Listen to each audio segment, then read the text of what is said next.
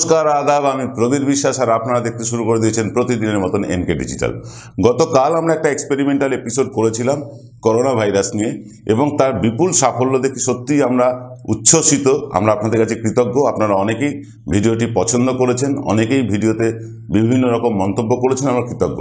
আমরা বলে রাখি আপনাদেরকে, এই ধরনের ভিডিওগুলো এখন থেকে আমরা নিউজ বাংলা চ্যানেলে দেখাবো, যেটা আমাদের গতকাল সন্ধ্যে সাড়ে সাতটা থেকে শুরু হয়েছে। আর রাজনৈতিক পর্যালোচনা এখানে দেখাবো। আর নিউজ বাংলা চ্যানেলেও রাজনৈতিক পর্যালোচনা থাকবে, কিন্তু তুলনায় কম। যাই হোক, চলে আসি আজকের এপিসোডে গোষ্ঠীদ্বন্দ্ব বাড়ছে তৃণমূলে হ্যাঁ। প্রথমে সল্টলেক তারপরে চন্দননগর, তারপরে শিলিগুড়ি, আসানসোল, সর্বত্র। সর্বত্র কিন্তু টিকিট না পাওয়ায় গোষ্ঠীদ্বন্দ্ব বাড়ছে। ভাগ্যিস চারখানা মাত্র পুর নিগমে ভোট হচ্ছে। যদি চারখানা পুর নিগমে ভোট না হয়ে যদি আরও বেশি সংখ্যক পুর নিগমে, সব পুর নিগমে যদি ভোট হতো, তাহলে গোষ্ঠীদ্বন্দ্ব কোন জায়গায় পৌঁছতো, কল্পনাও করা যাচ্ছে না। অবিলম্বে তৃণমূল কংগ্রেসের নেতৃত্ব এই নিয়ে চিন্তাভাবনা নিশ্চয়ই করবেন। কিন্তু এই গোষ্ঠীদ্বন্দ্ব কিন্তু বিজেপির একচ্ছত্র আধিপত্য ছিল, কংগ্রেসের একচ্ছত্র আধিপত্য ছিল। তৃণমূল কংগ্রেসের গোষ্ঠীদ্বন্দ্ব সেভাবে ছিল না, ছিলেও থাকলেও কিন্তু সেটা মিডিয়ায় আসেনি। এখন কিন্তু তা মিডিয়ায় আসতে শুরু করেছে, যেটা তৃণমূলের পক্ষে নিশ্চয়ই সুখকর নয়। কেন হচ্ছে এই গোষ্ঠীদ্বন্দ্ব? আজ সেই নিয়ে আলোচনা করব। দেখুন, গোষ্ঠীদ্বন্দ্ব হয় দুই গোষ্ঠীর মধ্যে। অর্থাৎ এক গোষ্ঠী দলের একটা মত নিয়ে চলেন, আর এক গোষ্ঠী আর এক মত নিয়ে চলেন। অর্থাৎ ধরুন কাউকে টিকিট দেওয়া হলো, তিনি দীর্ঘদিনের হয়তো কাউন্সিলর ছিলেন, বা কোনো নেতা ছিলেন, বা পদে ছিলেন। তাকে সরিয়ে যখনই দেওয়া হলো, তার তিনি তার কিছু অনুগামী নিয়ে শুরু করে দিলেন বিরুদ্ধাচারণ করতে। যেটা বিজেপিতে আমরা সম্প্রতি দেখেছি। বিজেপিতে আগের পৌর নির্বাচনের ক্ষেত্রেও দেখেছি, বিধানসভা নির্বাচনের ক্ষেত্রেও দেখেছি। তাদের গোষ্ঠীদ্বন্দ্ব তো একদম তাদের পার্টি অফিস মুরলীধর সেন পর্যন্ত পৌঁছে গিয়েছিল, হেস্টিংস পর্যন্ত পৌঁছে গিয়েছিল। কিন্তু এখানে ততটা বড় না হলেও কিন্তু গোষ্ঠীদ্বন্দ্ব দেখা যাচ্ছে। গোঁজ প্রার্থী হয়ে দাঁড়ানোর প্রবণতা একটা দেখা যাচ্ছে। তৃণমূল এখন অনেক শক্তিশালী দল। বলা যায় পশ্চিমবাংলায় তারা অপ্রতিরোধ। তাদেরকে, তাদের গতিরোধ করার ক্ষমতা এই মুহূর্তে কোনো দলেরই নেই। তার মধ্যেও এই গোষ্ঠীদ্বন্দ্ব কেন? অর্থাৎ ক্ষমতার মধুভাণ্ড ভাগ করে নিতে চায় সবাই। ক্ষমতা এমন একটা জিনিস যেখান থেকে এক যার যার একবার স্বাদ পাওয়া গেলে সেখান থেকে সরে আসা কিন্তু খুব কষ্টকর। সেটাই বোঝা যাচ্ছে। নেতারা কি চান? সব দলের নেতারা, শুধু তৃণমূল বলব না, সিপিআইএম বলব না, কংগ্রেস বলব না, বিজেপি বলব না, ছোট, বড় সমস্ত দলের নেতারা চান ভিড়। হ্যাঁ তাদের বাড়ির সামনে, তাদের অফিসের সামনে লোক জড়ো হোক, তাদের কাছে কাকুতি মিনতি করুক, এইটা করে দিন, ওইটা করে দিন, এই সুবিধাটা পাইয়ে দিন, ওই সুবিধাটা পাইয়ে দিন, এটা তারা খুব রসিয়ে রসিয়ে কিন্তু উপভোগ করেন। উপভোগ করেন। এবং এই যখনই এই ভিড়টা কমে যায় তাদের কাছ থেকে, অর্থাৎ যখন তাদের পদ থাকে না বা যখন তারা প্রশাসনিক কোনো পদে থাকেন না, তখন কিন্তু তাদের মধ্যে একখানা ভিড়ের অভাব দেখা দেয়। আর এই ভিড়ের অভাব থেকে কিন্তু নেতাদের মাথায় গণ্ডগোল হওয়া শুরু হয়ে যায়। সব দলের, এটা আমি কোনো নির্দিষ্ট দলের কথা বললাম না। এমন এমন নেতা আছেন, বিধায়ক আছেন, যারা পরবর্তীকালে টিকিট পাননি, প্রায় উন্মাদের মতন অবস্থা হয়ে গিয়েছে।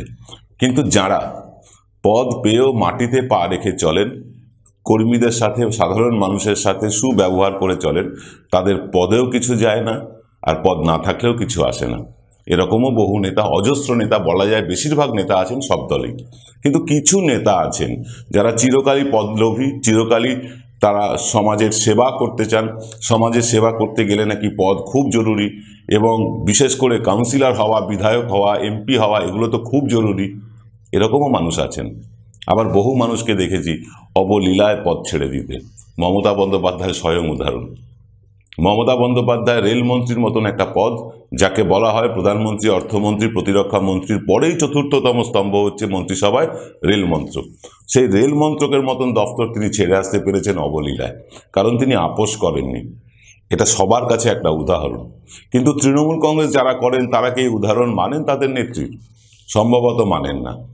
তাদের পদ চলে গেলে তারা মানে কান্নাকাটি শুরু করেন, দলের বিরুদ্ধে বিষোদাগার শুরু করেন। যদি এই মুহূর্তে বিজেপি শক্তিশালী থাকতো, দেখ- দেখতে পেতেন হয়তো অনেক লোক বিজেপিতেই চলে গেছে। যখন বিজেপিকে শক্তিশালী মনে হয়েছিল, তখন কিন্তু অনেকেই বিজেপিতে চলে গিয়েছিলেন। যখনই বিজেপির শক্তি হ্রাস হলো বা বিজেপি কাগজে বাঘ বলে পরিণত হলো পশ্চিমবাংলায়। তখন কিন্তু অনেকেই দলে দলে ফিরে এলেন আর বিজেপিতে যাওয়ার নামগন্ধ করছেন না।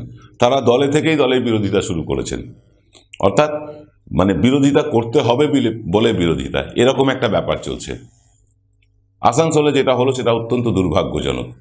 আসানসোলে যারা কাউন্সিলর টিকিট পাননি বা শিলিগুড়ির কথাও বলব, তারা যেটা করলেন, নেতা হয়ে যেটা করলেন সেটা নিশ্চয়ই কাম্য ছিল না, কারুর, কোনো দলের পক্ষেই কাম্য নয়। একটা লোক চিরকাল নেতা হয়ে থাকবেন বা তার পরিবারের লোকেরাই চিরকাল কাউন্সিলর হয়ে যাবেন, এরকমটা তো নাও হতে পারে। আবার হতেও পারে।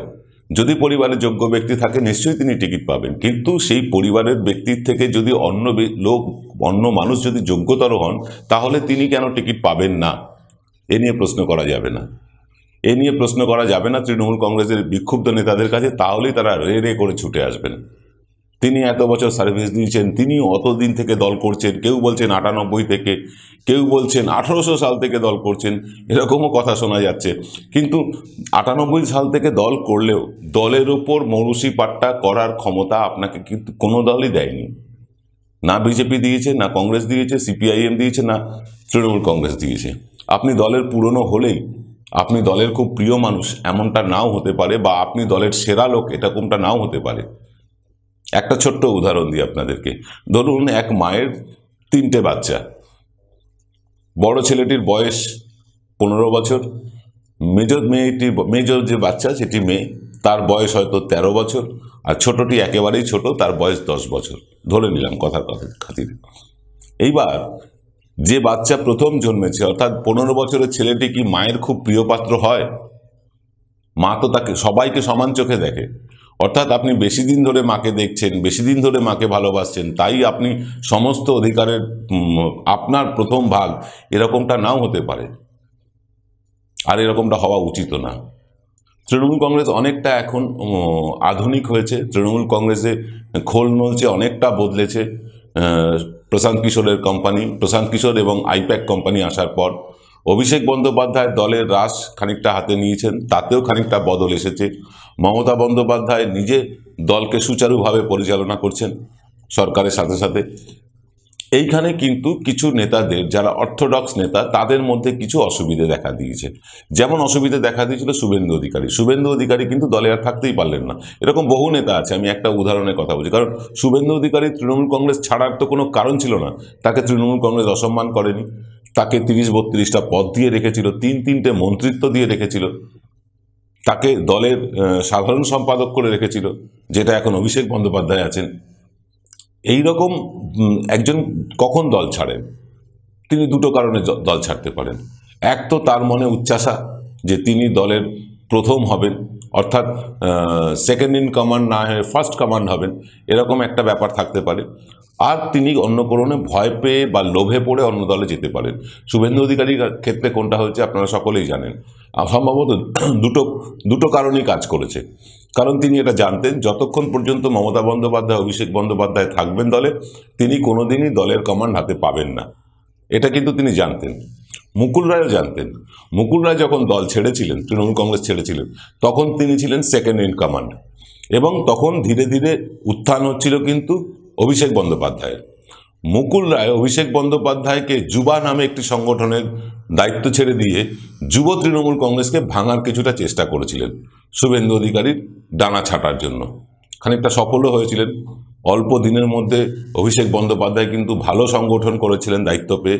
এটা তার দোষ নয়, এটা নিশ্চয়ই তার একটা গুণ। তাকে যে দায়িত্ব দল দিয়েছে, তিনি সেটা পালন করেছিলেন। কিন্তু অচিরেই বুঝতে পারলেন যে মমতা বন্দ্যোপাধ্যায়ের পরের জায়গাটা নিতে চলেছেন অভিষেক বন্দ্যোপাধ্যায়। শুভেন্দু অধিকারী নন। তাই তার আক্রমণের মুখ ঘুরে যেতে থাকল। আক্রমণের মুখ ঘুরে যেতে গিয়ে তিনি যেটা বুঝতে পারলেন, আমরাও যেটা বুঝতে পারলাম, যে তিনি কোনোভাবেই অভিষেক বন্দ্যোপাধ্যায়ের কাছে মানে কম্পিটিটার হয়ে দাঁড়াবেন না। কারণ অভিষেক বন্দ্যোপাধ্যায় ততদিনে অপ্রতিরোধ হয়ে পড়েছেন দলের মধ্যে। এখান থেকে তার দলত্যাগ শুভেন্দু অধিকারীও তাই। অর্থাৎ ক্ষমতা চাই, আরও ক্ষমতা চাই, আরও ক্ষমতা চাই। ক্ষমতার কোনো শেষ নেই। কাউকে যদি আপনি কাউন্সিলর করেন তিনি চাইবেন জেলা সভাপতি হতে। জেলা সভাপতি হলেই তার মনে সাথ জাগবে, তিনি বিধায়ক হবেন। বিধায়ক হলেই মন্ত্রী হতে হবে, আর তা যদি না হয় কমসে কম এমপি তো হতেই হবে। এরকম একটা কিন্তু মনে সাধ চলছে সমস্ত স্তরের নেতাদের মধ্যে। কিন্তু একটা সময় আসলে যে জায়গা ছেড়ে দিতে হয় নতুনদের, এটাই কিন্তু অনেক নেতারা বুঝতে পারছেন না। তৃণমূল কংগ্রেসের বর্তমান পরিচালন কমিটি কিন্তু সেটা বিলক্ষণ বুঝেছেন।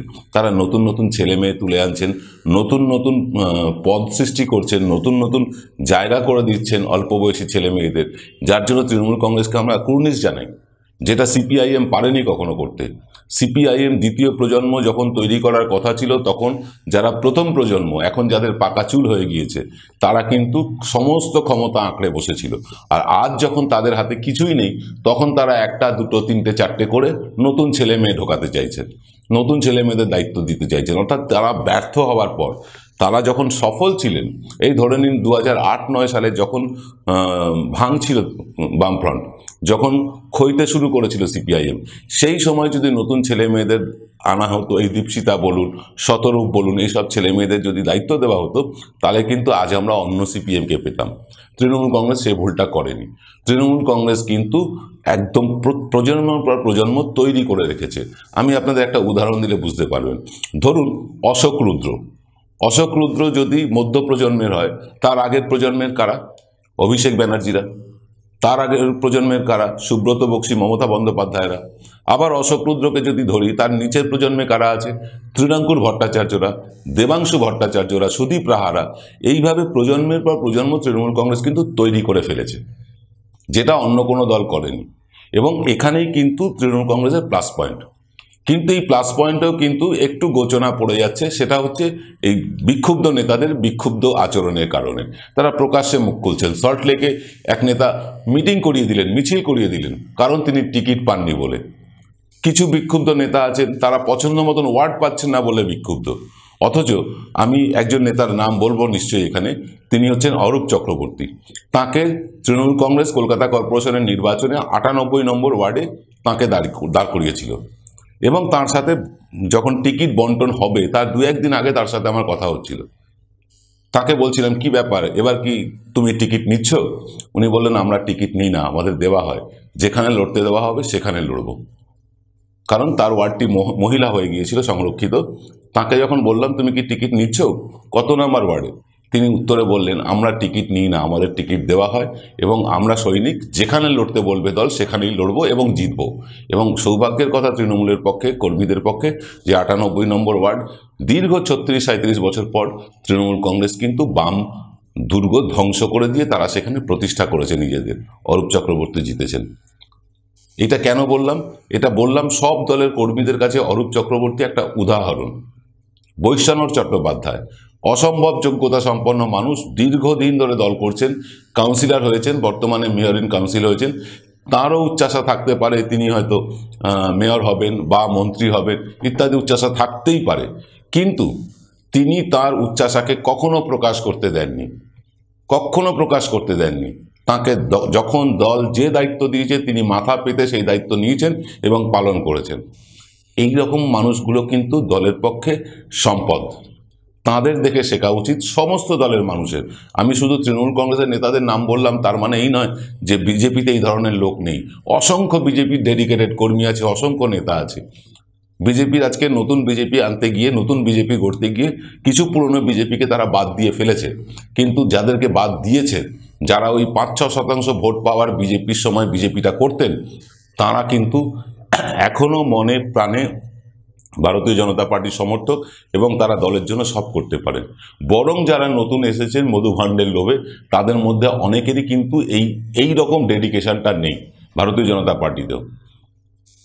সিপিএম যারা করেন বা বামপন্থী দল দল যারা করেন, তারা মূলত ডেডিকেটেড হন, এটা আমরা জানি। কিন্তু আমরা রেজ্জাক মোল্লাকেও দেখেছি, তাপস চ্যাটার্জিকেও দেখেছি, তারা সিপিএম ছেড়ে বেরিয়ে গিয়ে অন্য দলে জয়েন করেছেন কানাইয়া কুমারকে দেখলাম, সিপিআই ছেড়ে তিনি চলে গেলেন কংগ্রেসে। তো যাই হোক, এগুলো দেখছি আমরা। সমস্ত দলই একটা ট্রানজিশনের মধ্যে দিয়ে যাচ্ছে। অর্থাৎ দল বদল করা এখন আর কোনো অন্যায় কাজ না, আদর্শচ্যুত হওয়া না। দল বদল করা হচ্ছে, আমি মানুষের পরিষেবা দিতে চাই, এই দলে থেকে পারছি না, ওই দলে থেকে দেব। এই দলে দম বন্ধ হয়ে যাচ্ছে, ওই দলে দম মানে নিঃশ্বাস নিয়ে আমি করতে পারব। কিন্তু বাস্তবত কি দেখা যাচ্ছে?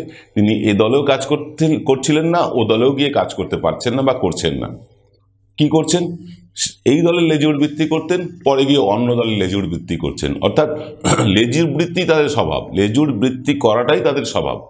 তারা সব জায়গাতেই লেজুর বৃত্তি করেন। তাদেরকে যখন তিরিশ বত্রিশটা পদ দেওয়া হয়, তিনটে মন্ত্রিত্ব দেওয়া হয়, তখনও তারা নাকি কাজ করতে পারেন না। অথচ একটাও পদ না দিয়ে, শুধুমাত্র বিধানসভার একটি পদ দিয়ে তিনি নাকি সারা দেশের উন্নয়ন করে ফেলবেন। এই তো হচ্ছে বাস্তবতা। তাই এই বিক্ষুব্ধ নেতারা, তৃণমূলের যারা বিক্ষুব্ধ নেতা, যারা তৃণমূলের টিকিট পাননি বলে বিক্ষোভ দেখাচ্ছেন, আগামী দিনে আরও অনেকগুলো পৌরসভার ভোট আছে, শতাধিক পৌরসভার ভোট আছে, সেইখানে তৃণমূল কীভাবে এই বিক্ষুব্ধদের ঠেকায় সেদিকে আমাদের নজর থাকবে। আর আপনাদের নজর থাকুক এনকে ডিজিটালে। আজ এই পর্যন্ত সকলে ভালো থাকবেন। জয় বাংলা, জয় হিন্দ।